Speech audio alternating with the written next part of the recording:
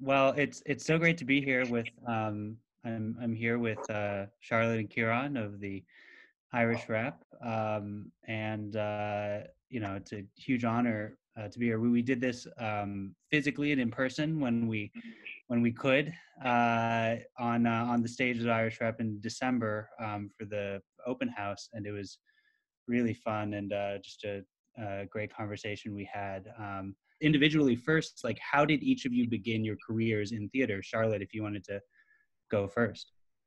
Well, I went to I uh, I went to Washington University in St. Louis, and uh, I was uh, naive and didn't know really what I wanted to do with my life. But I uh, I joined a Thyrsus, a group called Thyrsus, and did a play. It was Hippolytus, and I was a member of the chorus. I stood against a wall and put my arm up and memorized the entire damn thing and uh, decided from that that uh, theater was uh, what I wanted to do with the rest of my life. And so, uh, so I switched to a, a, a, another major and, and got my degree and, and went down to the Asolo um, uh, Theater Company in Florida, where I was in eight plays a season, eight, 16, 24 plays I did down there, and uh, got a lot of experience and decided I wanted to go to New York. And, and I, first I went to Hartford and did a lot of plays under the direction of Paul Weidner there. And then I, uh, I was hired, um, somebody saw me in a play there and I was hired to do a play in New York and I went to New York and the rest and and it what was, was a Broadway, the Broadway play that I was hired for. It was uh, it was uh, The Great God Brown, directed by Harold Prince. Oh my god! That's how I started. Wow, that's that's really incredible. Um, and then you just walked into an audition room and met Hal Prince and I, I, I didn't audition. He, he saw me in, in a, in, a, play in Hartford and called me and said, in a year's time, in one year's time, I'm starting a theater company. I'd like you to be a part of it. Uh, the first time he said, the first time uh, that call happened, I hung up on him because I thought it was somebody in, in Hartford playing a joke on me. But they called back and they said, please don't hang up. Please don't hang up. It really is Harold Prince. So um, I went to New York with a job and and and on Broadway, on Broadway. Wow. That's how I did my first experience there, and wow. that's from there. From there.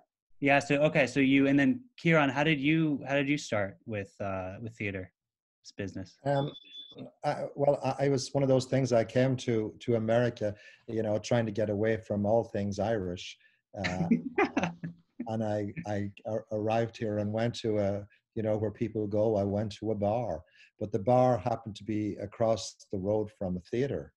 And uh, on the night of a, a technical rehearsal, um, a term that I wasn't in the least bit familiar with at the time, but somebody didn't show up in a production of Brian Friel's Freedom of the City. And there was a, tiny role of an officer giving evidence in court. And they they saw me at the bar. One of the stage manager or somebody there said, "Hey, would you, would, why don't you come over and just step in for for for the." and I went I went over, and I thought I thought that's what acting was because I I was um, giving evidence in court, so I didn't need to even learn my lines. I could just read from my notes as a police officer, and uh, so I was fooled into a into a world of theater, thinking that I never had to learn a line. And, uh, the lights came up. The guy never came back. I was I did the role, and um, and you've been starring uh, ever since. and then, um, how uh, how did you and Charlotte first meet? Bringing well, there was a there was a um, somewhere um, somewhere in the midst of all that in the in the eighties. Uh, we were cast in a play together by Hugh Leonard called Summer that was directed by the wonderful Brian Murray. And uh, and that's that's when I first met Charlotte, where I was supposed to be also giving her dialect notes, none of which she took. She, she, accepted none of it, uh, and I, I, should have known by then that she was never ever going to listen to me. oh man! Well, that's so. Then you so you're in this play together and then charlotte do you want to talk about how you developed that into what we now know as the irish repertory theater Well, I, I, I've, um, we, we may differ on this, but I, I think Ciaran came one time uh, uh, to me and chatting and so forth and said, why don't we do a play together, an Irish play together? Would you like to do that? And I said, oh, of course. He said, I'll produce it and you can direct it. And so that's, we did um, for our sins, because uh, we really didn't know what we were doing, especially me, but we did uh, the, um, what did we do, Ciaran? The, the Plough and the Stars by Sean O'Casey. What? The Plough and the Stars by the Sean O'Casey. The Stars, the hardest uh, uh, Irish play in, in, the history of Ireland. That was 1988, and I'm going to differ with Charlotte on. on Here we go. Here we go. we, we, we, we actually uh, we actually planned a whole uh, to, to have a full season uh, in in our in our first in our first get around. That's so what he said. Really? Well, we, we had rented a theater, which was the, uh, the 18th Street Playhouse, no longer in existence. But so, in, in, in, our, in our first season was The Plough and the Stars was the first one. The second one was a play uh, called I Do Not Like the Dr. Fell. The, the third one, we did a Yeats program called uh, Yeats' A Celebration. And Joe Papp invited us to go to the public theater to do it as a sort of a benefit performance for us. And it was one of the big, you know, a big deal for us. It was in our first season, and on the very first night, uh, or, or on the night of the when we did the Yeats, Joe Papp walked out and said, he said, when a new theater company starts in New York City, people should pay attention. When it's an Irish theater company that starts, there should be great celebrations in the streets welcome the Irish Repertory Theatre, and that was Joe Papp, you know, who was uh, who was sort of a, a, big hero of ours. Legend, for, yeah, for, for, doing that. And then the next play was A Whistle in the Dark, which moved off Broadway. And Charlotte, do you have a favorite uh, from those days before you? Whistle in the Dark. Period. Whistle in the Dark. Okay. Mine too. Really. Yeah. Um, and then, so what happened next? Did you? How did you come to get a a theater uh, an actual theater space um, to to call home. Before we go there, we should say that like the, one of the biggest things that happened actually happened the following year after that. Uh, so, so, why don't you tell about Hal and grandchild? Oh, well, uh, um, I, I, had known Mr. Prince for quite some time through mutual friends, but um, one day Mr. Prince called me and said, I've written uh, I've written a Sean O'Casey piece called "Grandchild of Kings." Would your theater like to do it? And um, I again thought somebody was playing a joke on me, but he was serious. He wanted to direct it, and and we we were over the moon about it, and we said, of course, we said yes. And so Harold Prince directed Grandchild of Kings for the Irish Repertory Theater, and talk about starting off again with a bang. We should say what it is that Grandchild of King was his adaptation of the autobiographies of Sean O'Casey. Of Sean O'Casey. Wow, it's amazing. And Ciaran, how uh, what was it like getting directed by? Well, actually, either of you, what, what was it like getting directed by Hal Prince? For me, it was the clearest, most precise, most exciting direction I've ever had. Uh, and Ciaran? It was it was just an extraordinary experience to but for for all of our company. There was 18 in the company and four musicians. Eugene lee the designer sort of built the city of dublin within this place the theater for the new city where we had it. So it was kind of a black box you know so hal prince comes to a black box and he creates the most magical stage pictures where everything is just happening all over the place here there and everywhere. And and and he you know we felt so privileged that he he he chose our company to do his work. Wow. That that's amazing. Yeah no and I, I know um i know you guys are you know the the planned gala is to honor Hal Prince as well which um is uh is really fantastic. So I mean, he was a great supporter, great supporter. He loved loved uh, uh, Irish uh, literature and Irish drama. It was right right you know on the nose what he liked. Uh, and he clearly loved the Irish Rep, so that's that's really really amazing.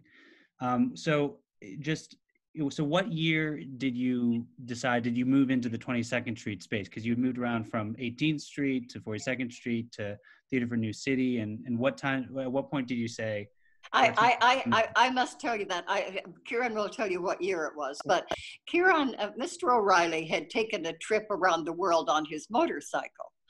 And um, while he was gone, I, I- we had decided that we had to have a place of our own or, or we were going to have to, we couldn't go on because it was very difficult.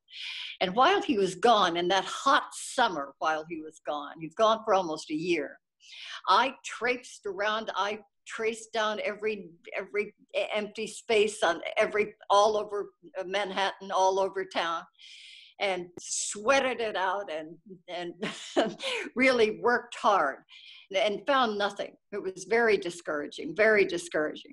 And Ciaran came back after his round, smart round the world trip. And I think he saw something in a newspaper or something. The second day he was back, and and that's where we are today. That's incredible. How, how did you do it, Ciaran?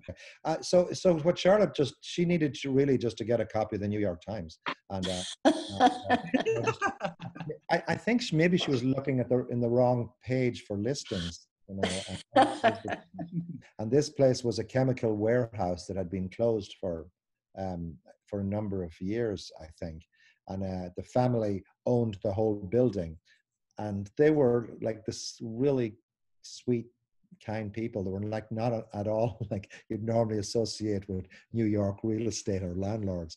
They're people actually who kind of love theater as well, so they were into the idea of uh, of. So they gave us um, as part of the lease, which we got a ten or twelve year lease. I forget which now, and we um, uh, they gave us six months free to fix it up.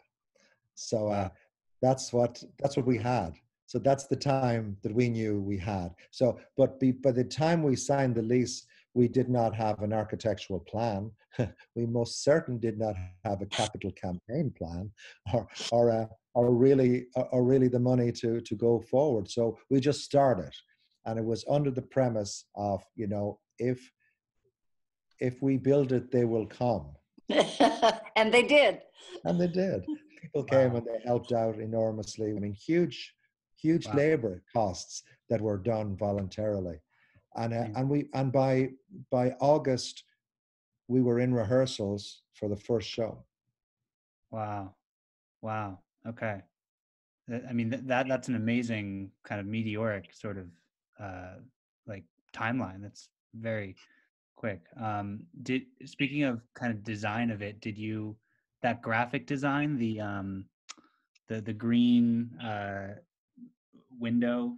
Um, how did you? Did you know what I'm talking about? How did you come up with with that? Well, I uh, I was at Charlotte's apartment one evening, and I drew out what the uh, what the top of a Georgian door uh, was, and put and and and the idea was that uh, the Irish Repertory Theatre would be within the glass of the Georgian door, and the door itself would have a poster of whatever the show next show was. So we'd always use this door with the window, and you just stick a different poster onto the door each time, and that was the concept.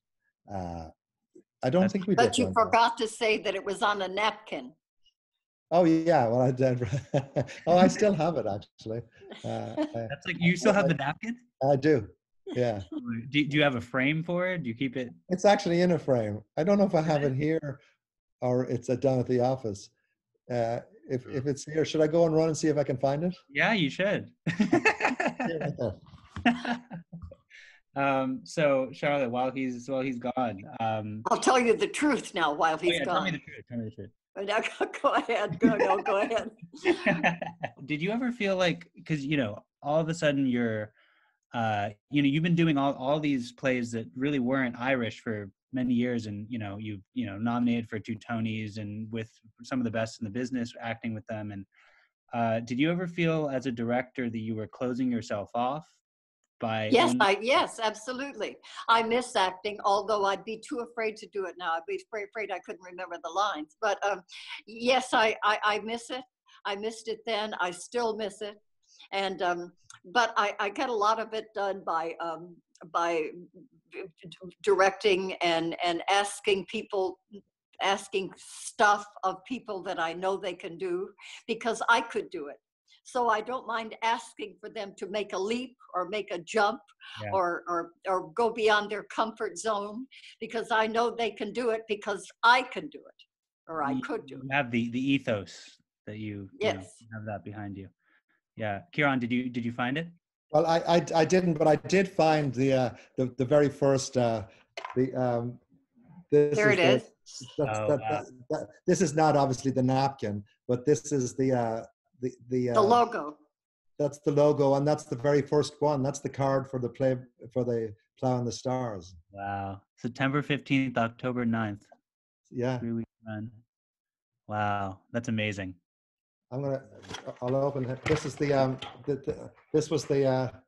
This this this was the back of the um. Of the card. Wow. Huh. Oh yeah, there it is, Thursday to Sunday.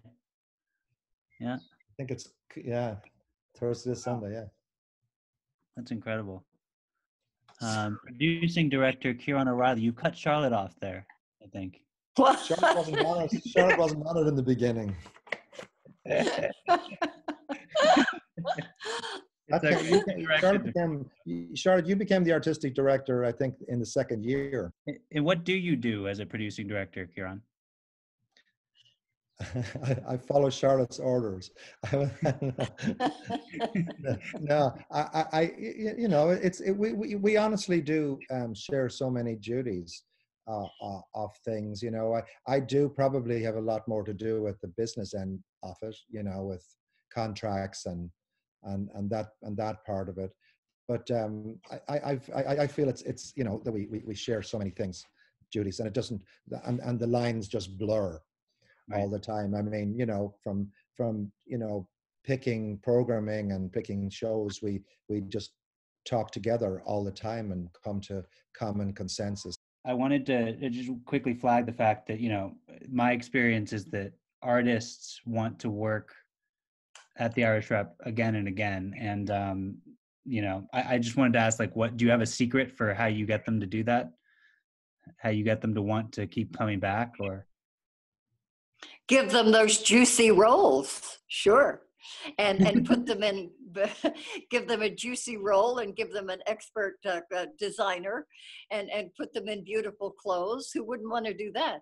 I mean, you don't you don't make a fortune, but it's artistically satisfying. I think. what would you like the it's a tough question but what, would you like the legacy of the irish rep to be what do you think that the role of it in new york and in the nation really like what would you want it to be remembered for um, I, I think we I think we began uh, we invented we started we envisioned and achieved an important theater in in where, where in a in a tough field uh, in New York City in in Manhattan and New York City and in this country. I, I think we started something new and achieved it and did it well. And I, I expect it uh, to continue Uh, long after we're gone, I hope. Yeah. I'd say, you know, we, we began on, on our mission in, on the first day was was to say that we want to perform Irish and Irish American works performed professionally with a native understanding. And I hope that that that's something that we did do, that we brought a native understanding to Irish literature and to and that we introduced new works as well as you know introducing old works because a lot of them that are you know are, are people have never heard of you know and never seen.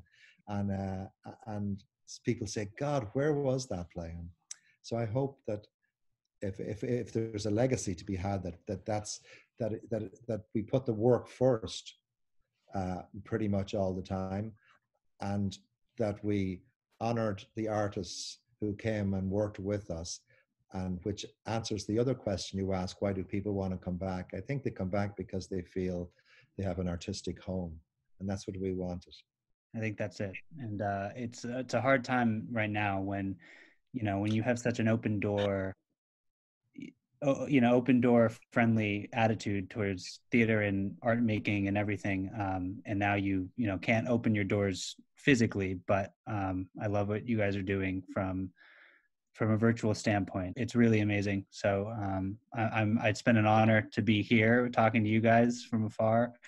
Um, I hope that we can all work together. Um, Very again. soon. Yeah, Yeah. for sure.